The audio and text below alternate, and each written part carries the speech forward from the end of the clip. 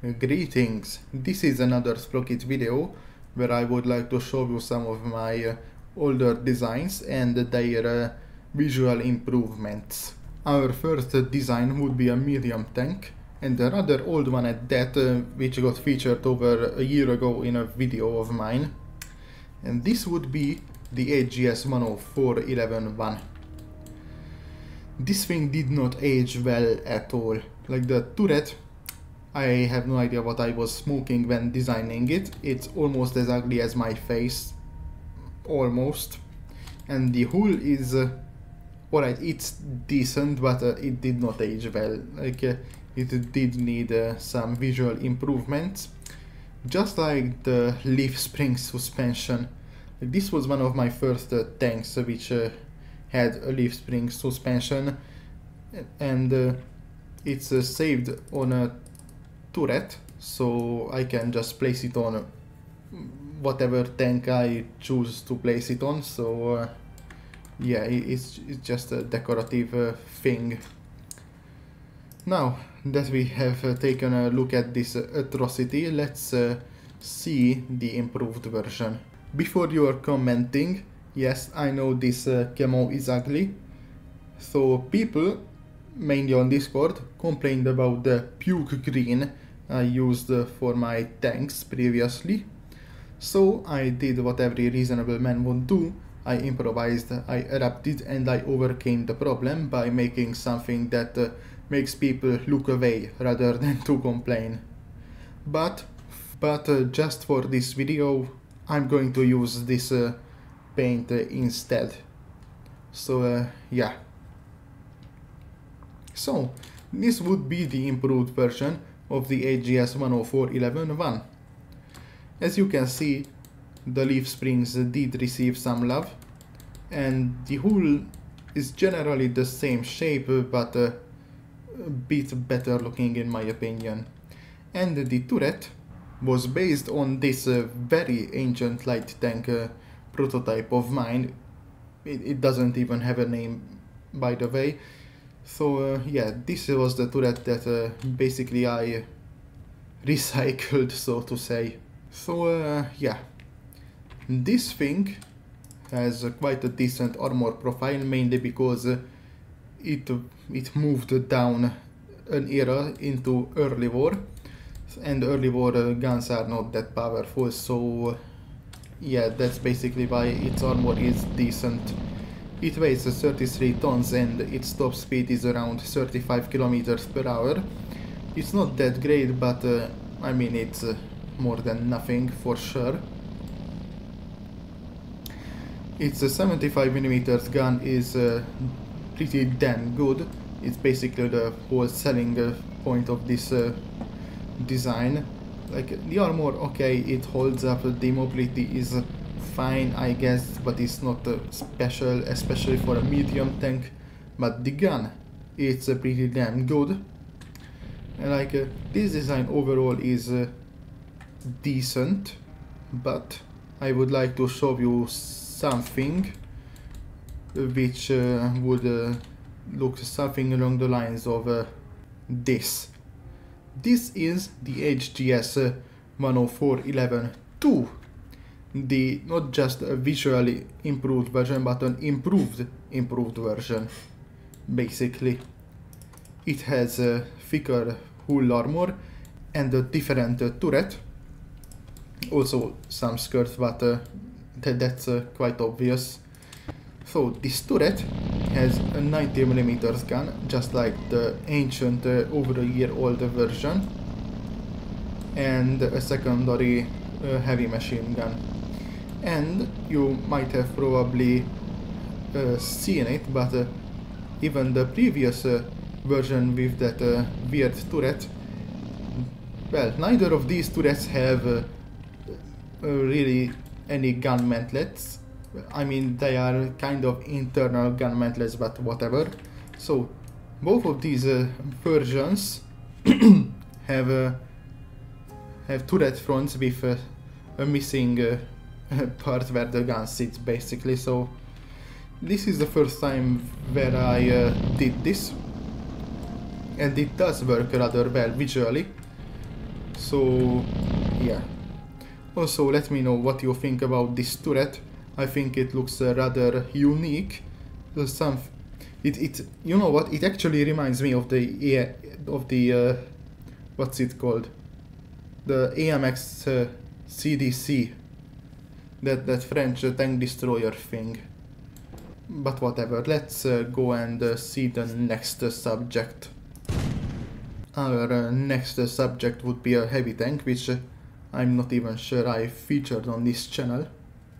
And this would be the HGS 105 101. And it's just pure, pure eye bleeding ugliness. It's, it's just uh, rather unpleasant to look at. So uh, yeah, before uh, we get uh, eye cancer, even though we already got it just by looking at that uh, ugly ass camo I showed earlier. Let's just uh, move on and let's see the improved uh, version. It would look something like this. Where do I even begin? So this thing is uh, 83 tons heavy. It does have a lot of armor. As you can see, it's uh, very thick. The turret is uh, very well protected even from the sides. Uh, the hull is uh, rather uh, well armored as well. Even the sides when angled are uh, very good. And as, as I said earlier, even the side of the turret is well armored. So yeah, like its original version, it has a 130 millimeters gun. But uh, this one it has like a 300 millimeters of penetration which uh, is uh, really damn good.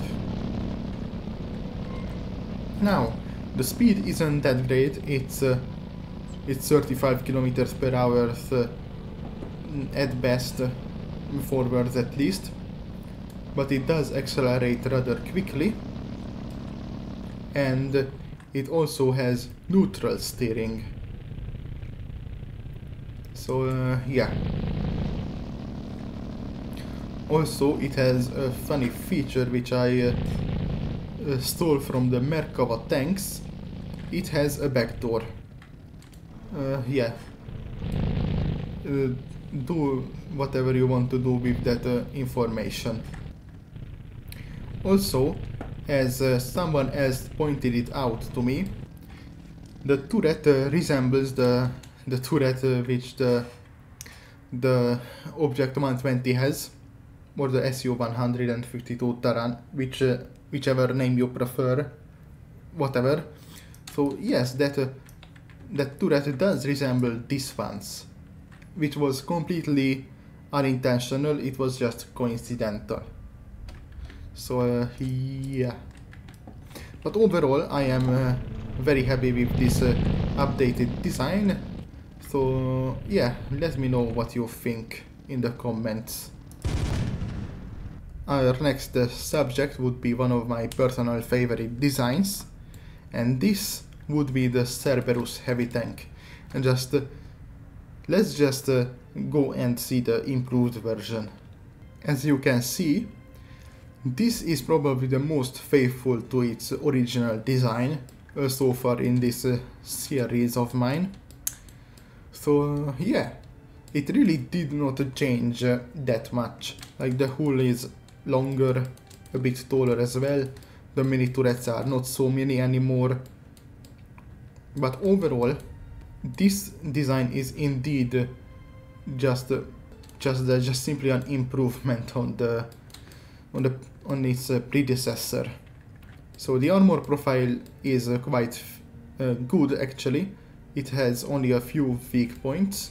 Even from the sides it's uh, quite nice.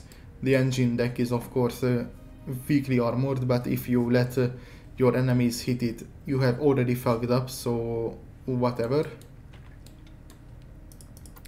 And like, I am really happy with how this thing turned out to be because uh, I mean I didn't really have to change a lot in the original design because uh, it was just that good. It just uh, aged.